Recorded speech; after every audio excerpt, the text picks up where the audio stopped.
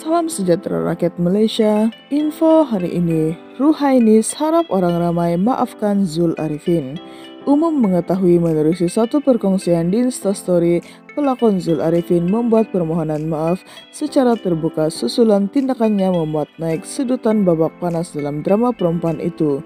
Perkara itu turut mendapat perhatian rekan artis yaitu pelakon Ruhainis yang menyifatkan permohonan maaf Zul itu adalah jalan terbaik untuk menjernihkan keadaan. Ruhainis berkata, sudah pasti Zul sudah mendapat pengajaran daripada apa yang berlaku. Ujarnya orang boleh bercakap apa sahaja tentang Zul, namun siapa mengenali aktor itu pasti tahu bagaimana sikapnya. Sebagai antara rekan artis yang rapat, saya tak mahu komen lebih sebab bimbang nanti ia akan disalah artikan. Cuma tidak dinafikan saya antara yang ditanya media dan peminat mengenai isu berkenaan. Apa pun orang ramai boleh bercakap macam-macam, siapa yang mengenali Zul secara dekat pasti tahu dia bagaimana orangnya.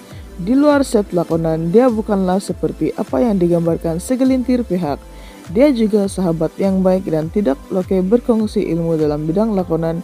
Dia juga melayan orang baik semua orang. Jadi ini pun salah satu sebab saya senang berkawan dengan Zul katanya.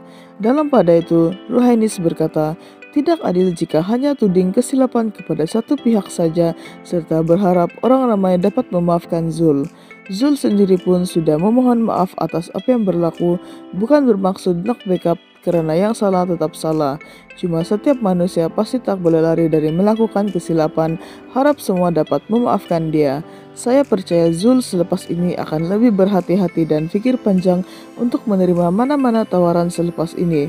Lebih baik untuk kita sebarkan apa yang positif dan ambil iktibar daripada apa yang telah berlaku katanya. Sekian info hari ini. Terima kasih.